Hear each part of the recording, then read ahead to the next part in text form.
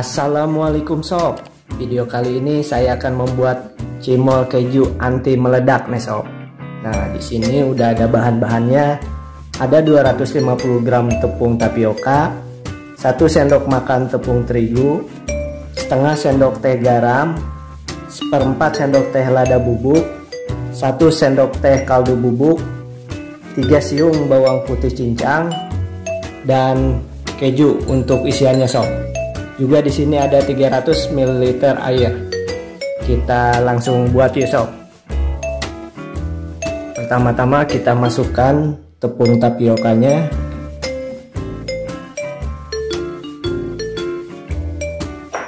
Setelah itu terigu. Lalu garamnya.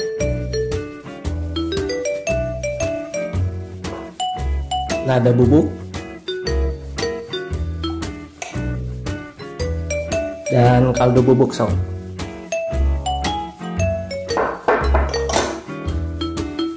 setelah ini kita aduk sampai tercampur.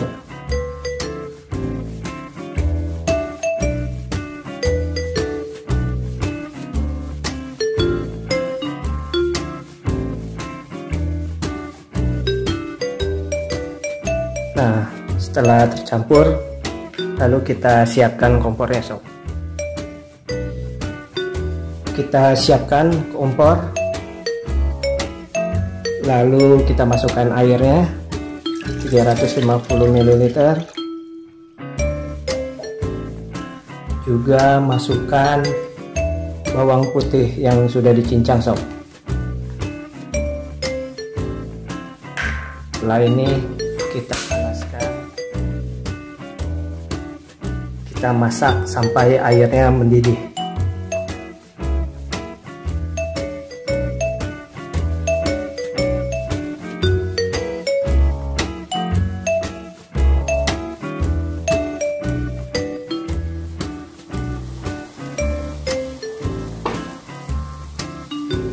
Nah ini udah mendidih nih sob. Setelah ini kita matikan kompornya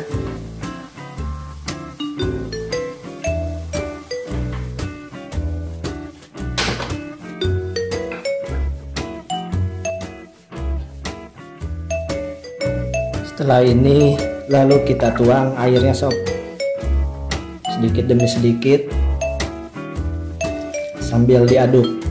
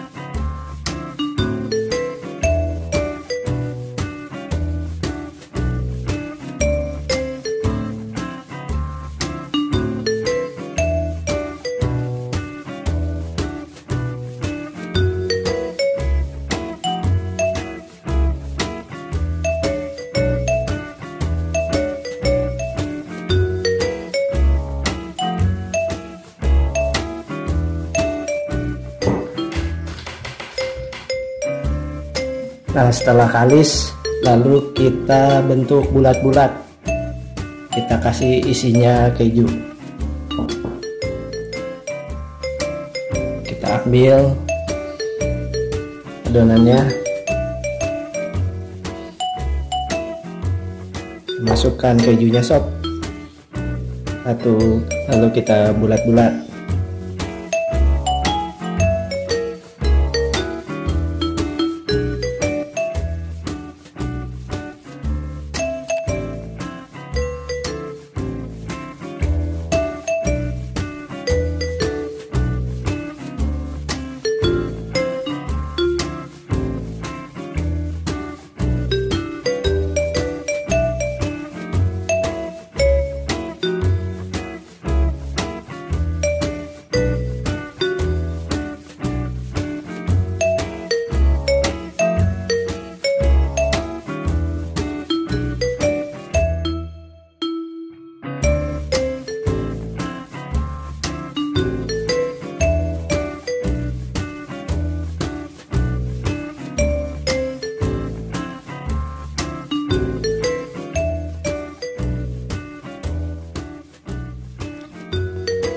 nah ini cimol isi kejunya udah jadi sob setelah ini kita diamkan selama 15 menit lalu siap untuk digoreng.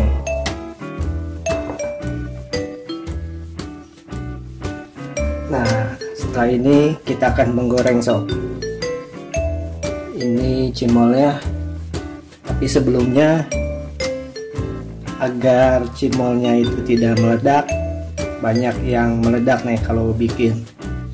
Jadi kita masukkan saat minyaknya masih dingin sob masih dingin kita masukkan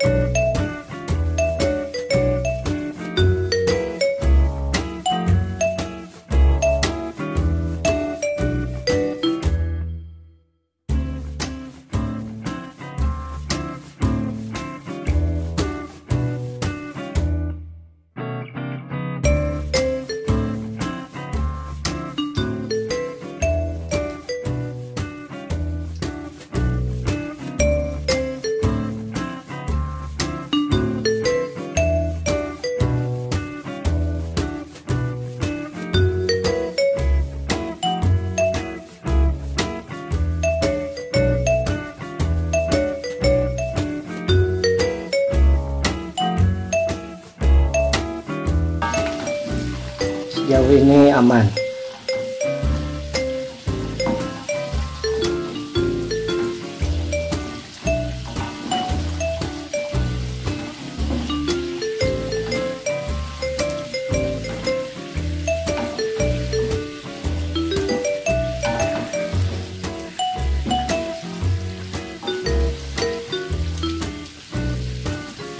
Simbolnya besar-besar biar cepat kenyang sob bukan kaleng-kaleng. Mantap.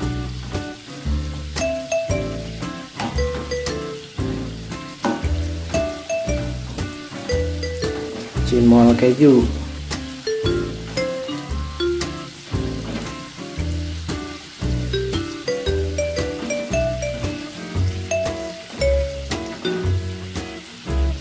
Anti meledak sob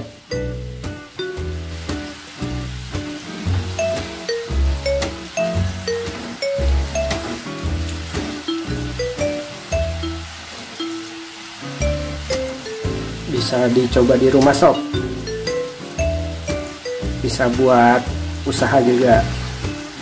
Cimol keju anti meledak sesuai resep. Nah cimolnya besar-besar nih mantap nih. Mantap sob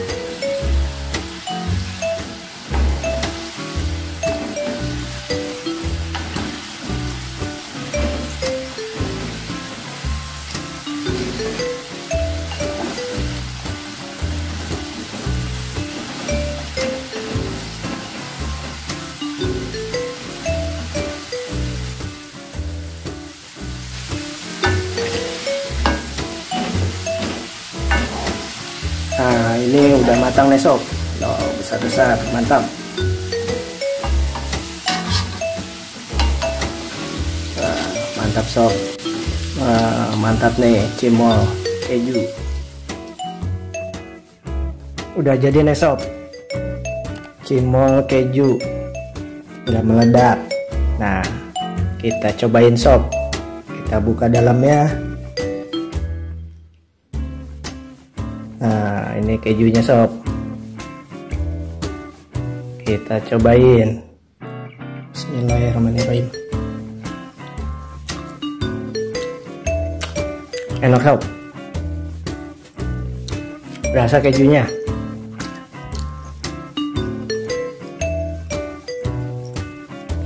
Mantap.